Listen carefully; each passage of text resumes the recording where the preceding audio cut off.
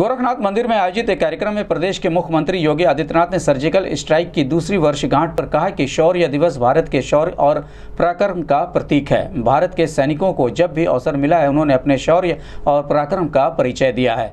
राजनीतिक नेतृत्व की दृढ़ इच्छा शक्ति की कमी के कारण अक्सर पाकिस्तान या चीन को अवसर मिल जाता था। प्रधानमंत्री मोदी जी के नेतृत्व में भारत सरकार ने जब अपनी दृढ़ इच्छा शक्ति का परिचय दिया तो भारत के सैनिकों ने पाक अधिकृत कश्मीर के अंदर घुसकर भी पाकिस्तान के आतंकी कैंपों को नष्ट करने के साथ साथ वहाँ पर जितने भी आतंकवादी थे, उनको मार गिराया।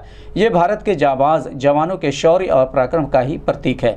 योगी ने कहा कि आज के अवसर पर प्रधानमंत्री जी का अभिनंदन करता हूँ और भारत के उन बहादुर जाबाज जवानों के प्रति सफल सर्जिकल स्ट्राइक के लिए उस पूरी टीम को बधाई देता हूँ और भारतीय सेना के पराक्रम के लिए अपनी शुभकामनाएँ देता हूँ।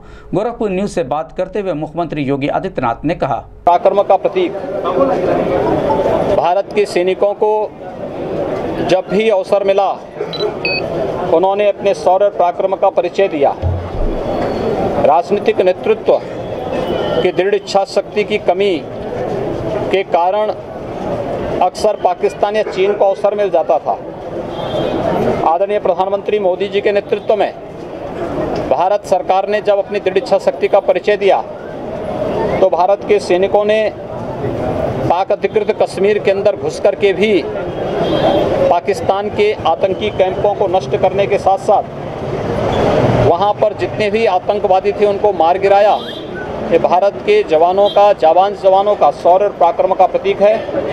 मैं आज के इस अवसर पर आदरणीय प्रधानमंत्री जी का अभिनंदन करता हूँ।